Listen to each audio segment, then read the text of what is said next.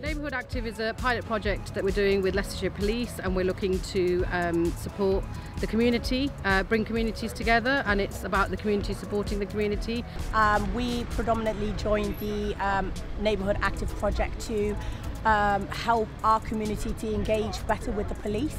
Sometimes communities are very reluctant to engage with the police.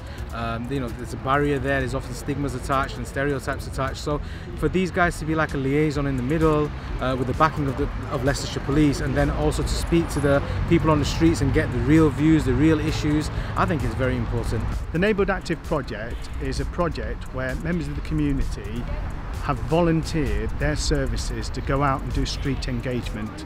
So on East Leicester, that means the project will be running in two areas. One is here on St Peter's and the other one is in St Matthew's.